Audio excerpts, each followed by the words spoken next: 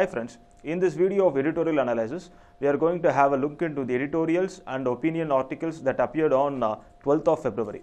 The first article which we are going to discuss now is uh, based on uh, uh, the political problems happening in Maldives and what the stance of India should be.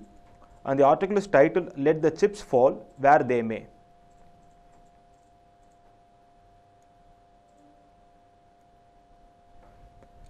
Maldives is strategically located to the south of uh, India in the Indian Ocean. And uh, Maldives was a erstwhile British colony and it got its independence in 1956 and uh, as in uh, many cases India was the first to recognize the newly independent Maldives in 1956 and there was cordial relationship between India and Maldives except a minor scuffle in 1976 over the maritime boundaries. And it was uh, settled amicably. And uh, uh, later uh, after the settlement of the issues there were uh, the, the relationship between both the countries were growing uh, good. Maldives and india have developed strategic military economic and cultural relations. Apart from uh, being a soft power india uh, even at one particular point during 1988 uh, displayed its hard power that is uh, displayed its military power. In 1988 a businessman in uh, maldives he tried to uh, oust the president gayoom through armed rebellion. And the armed rebels came from people liberation of Tamilam, uh, Tamil rebellion group in Sri Lanka. He asked for India's intervention and uh, India sent uh, its paratroopers. The, uh, the paratroopers fought with the rebels and saved the President Gayoom from being ousted. So after this cultural relationship, the economic relationship which we had with Maldives, it grew into a strategic relationship in a wider spectrum. As I said earlier, Maldives is strategically located uh, in uh, south, south of India and mainland in Indian Ocean. And the distance between uh, Maldives to Thiruvananthapuram, Indian mainland is 720 kilometers. This shows how close Maldives is located to India and how important is Maldives for India's security systems. So let's have a brief look into uh, the timeline of uh, India's India Maldives uh, relationship. India had been the go-to partner for Maldives till uh, the Maldives tilted towards China. And uh, uh, when the, what was the point of inflection? The point of inflection was, in 2012 when uh, the uh, former president Mohammad Nasheed he cancelled the contract given to Indian infrastructure company GMR Group uh, to build the airport in Male. This was the first point. Uh, this was the point of inflection from where the uh, from where the Maldives government started looking towards China. Even after the 2012 skirmishes, India supported Maldives uh, to avert their drinking water crisis. This China tilt has caused anguish to India.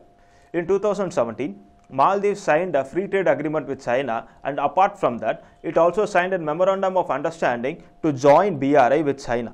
So Maldives is playing this uh, game of playing its big neighbors against each other to get the maximum benefit out of it, and this is this has created a dilemma for India. Well, what is happening in Maldives now? What, what is the reason for the, the political chaos in Maldives?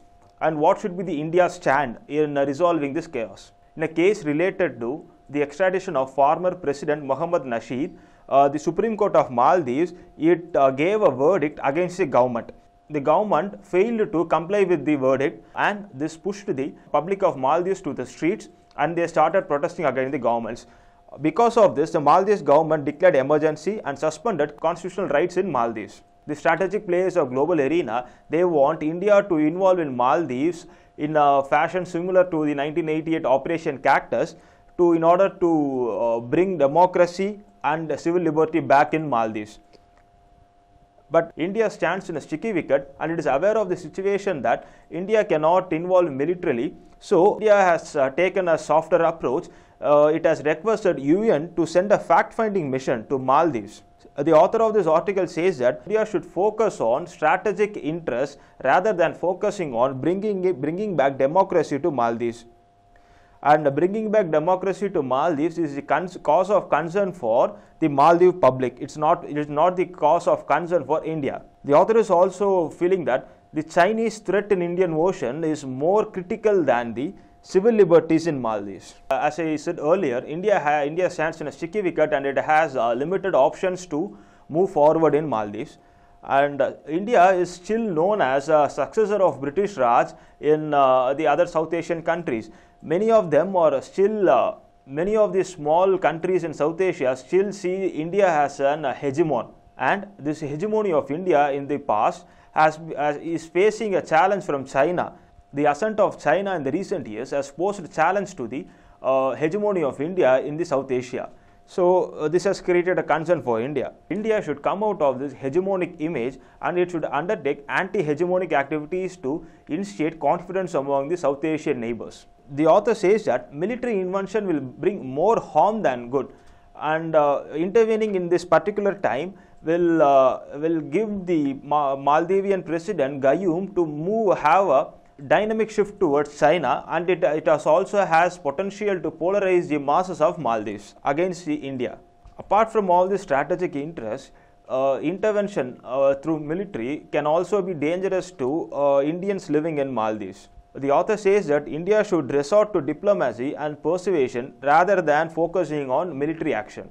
India earlier had involved in uh, two military actions in two of its Indian Ocean neighbors. The first was uh, the Operation Cactus in 1988, and the second was this uh, Indian peacekeeping force in Sri Lanka in 1987-89. These two military interventions were done on invitation. The then governments of Sri Lanka and Maldives invited India to intervene. Then, so India sent the forces. But now the situation is different. The author is also feeling that carrying out military operation in the present scenario is unwarranted for India's uh, strategic situation. The author is also feeling that carrying out military operation in this present scenario is unwarranted for India's strategic uh, situation. The next article is on uh, State of Health report released by Niti Aayog. This was the first of its kind report released by Niti Aayog. Niti Aayog has released the first edition of its health index titled Healthy States Progressive India. As the title suggests, the report is uh, focused on the health indicators of different states and it is uh, the main motto, the main objective of the uh, index is to collect data in order to make prudent policies to achieve the targets given in Sustainable Development Goal number 3. The report has been developed by Niti Aayog with technical assistance from World Bank and in consultation with Ministry of uh, Health and Family Welfare. This report is a weighted composite index based on three domains. The first domain is health outcomes. It has a weightage of 70 percentage. The second uh, domain is governance and information. It has a weightage of 12 percentage. And the third uh, domain is key inputs and processes. It, uh, it carries a weight of 18 percentage. So I have, I have added a table here uh, indicating the stands, uh, indicating the standings of uh, different states in different parameters. First, uh, in the category of uh, large state grouping, this report has classified states into three groups. The one is large state, the second is small state, and the third, uh, third is union territory. Uh, in the state grouping of large state, in the category of overall performance, uh, the top performers are Kerala, Punjab, and Tamil Nadu. And as far as the incremental performance is concerned, the states of Jharkhand, Jammu Kashmir and Uttar Pradesh have fared well. That means uh, it shows the uh, trend of convergence.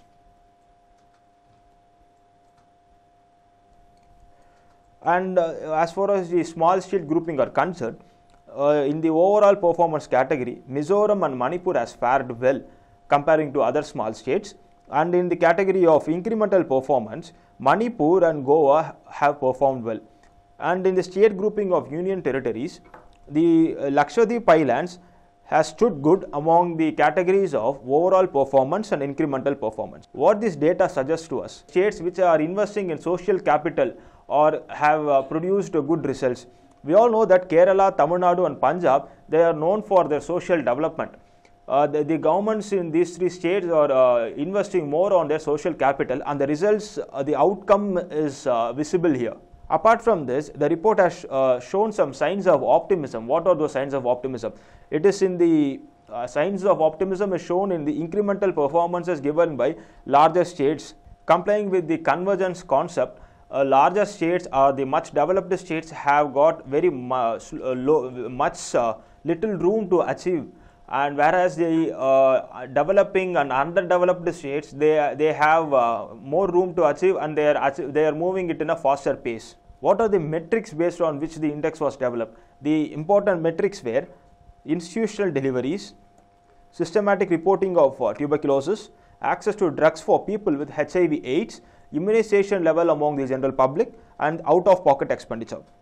Completes the article uh, saying that socialization of medicine with a reliance on taxation to fund basic programs is the bedrock for good health system.